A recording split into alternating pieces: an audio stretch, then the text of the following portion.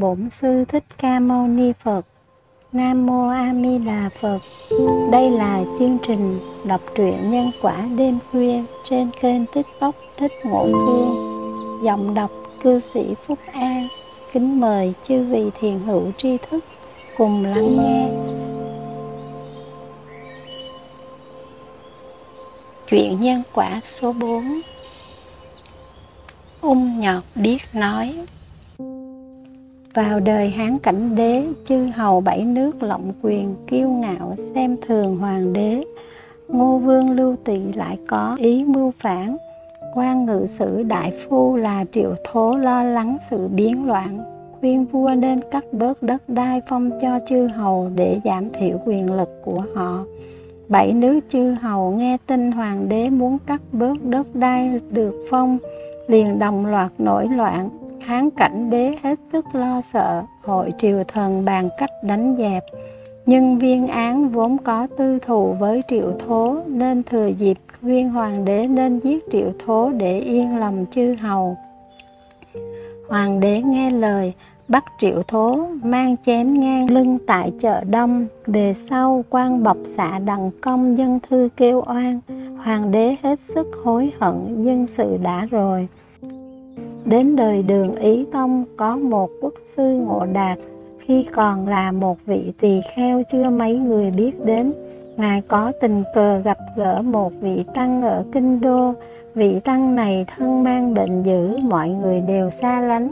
Chỉ riêng Ngài Ngộ Đạt hết lòng chăm sóc, không hề tỏ vẻ chê chán. Đến lúc chia tay nhau, vị tăng cảm, thâm tình ấy nên dặn lại rằng, ông sau này sẽ gặp nạn, lúc đó có thể đến tìm ta ở núi trà lũng thuộc bành châu, tây thục. Trên núi ấy cứ tìm đến nơi nào có hai cây tùng sẽ gặp nhau về sau, Ngài Ngộ Đạt ở Trường An, Đức Hạnh ngày một vang xa, được Hoàng đế Ý Tông kính lễ tôn làm quốc sư, ban tòa báu bằng gỗ trầm hương đối đãi ngày càng cung kính trọng hậu hơn.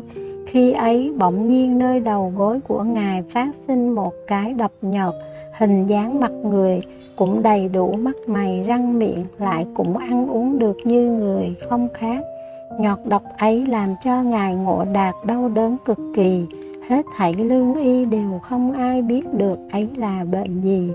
Vô phương cứu chữa, chợt nhớ lại lời dặn lúc chia tay của vị tăng ngày trước, Ngài Ngộ Đạt liền tìm đến núi Trà Lũng. Lúc đến nơi trời đã xế chiều, bốn phía không một bóng người, cỏ cây âm tầm mù mịt, đang lúc còn băn khoăn chưa biết định liệu thế nào, chợt thấy xa xa trong làng khói mây mờ ảo có hai cây tùng ẩn hiện. Vội theo hướng ấy tìm đến, quả nhiên gặp được vị tăng ngày xưa tại đó. Ngài ngộ đạt liền đem hết những nỗi khổ sở bấy lâu nay của mình ra trình bày. Vị tăng nói, không có gì phải lo lắng cả, dưới chân núi này có một con suối đợi đến sáng mai dùng nước suối ấy rửa qua một lần là khỏi bệnh thôi. Sáng sớm hôm sau, có một đồng tử đưa ngài xuống núi. Đến chỗ con suối vừa chụm hai tay vốc nước suối định rửa. Bỗng nghe cái nhọt phát ra tiếng kêu lớn.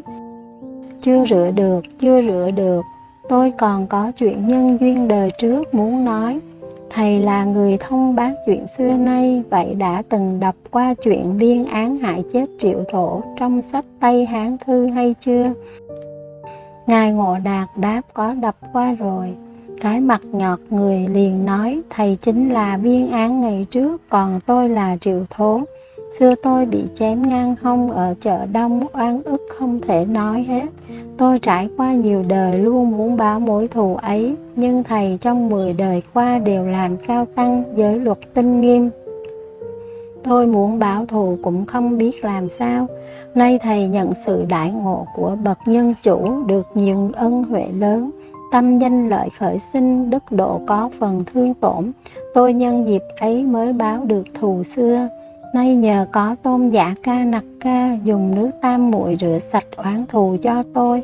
Từ nay tôi với thầy không còn oan kết nữa. Ngài Ngộ Đạt nghe xong câu chuyện rùng mình run sợ, liền vóc nước suối lên rửa. khi cái nhọt vừa chạm vào nước ngài đau thấu xương tủy đến nỗi ngất đi một lúc lâu rồi mới tỉnh lại thì cái nhọt đã biến mất ngày nay vẫn còn lưu truyền bộ thủy sám gồm ba quyển. Chính là do ngài ngộ đạt sau khi khỏi bệnh soạn ra để người đời sau dùng làm phương pháp sám hối. Lời bàn. Tôn giả ca nặc ca là một vị a la hán đệ tử của đức thế tôn. Quốc sư ngộ đạt lúc gặp ngài chỉ biết đó là một vị tăng bị bệnh, nào biết đó là một vị thánh tân đến chư hiệu thánh, ca nặc ca cũng phải nhờ cái nhọt mặt người nói ra mới biết. Những nghiệp báo thuộc loại này, thuốc men của người thế gian làm sao có thể trị dứt được? Luật gì cũng có thể lách, nhưng luật nhân quả thì không. Một khoảnh khắc thất niệm trong hiện tại cũng có thể là ác duyên để nhân quả chín mùi. Kính chúc các bạn sâu giấc nam mô a di đà phật.